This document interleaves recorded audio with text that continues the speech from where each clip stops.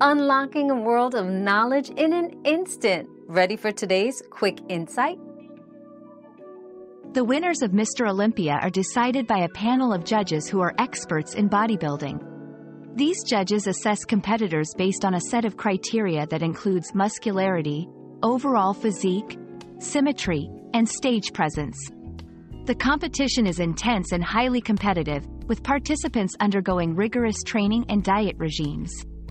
The judging process is meticulous, focusing on the finest details of muscle development and definition. As such, the decision of who wins Mr. Olympia is a result of expert evaluation of physical excellence and aesthetic appeal in bodybuilding. Our quest for knowledge never ends. Thanks for being part of today's discovery. Subscribe, like, and share to join us on the next one.